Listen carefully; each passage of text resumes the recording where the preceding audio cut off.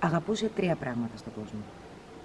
Το ψάλισιμο του εσπερινιού, τα άσπρα παγόνια και τους βυσμένους χάρτες της Αμερικής. Δεν αγαπούσε το κλάμα των παιδιών, δεν αγαπούσε το τσάι με βατόμουρα και τις γυναικείες ιστερίες. Κι εγώ ήμουν γυναίκα του.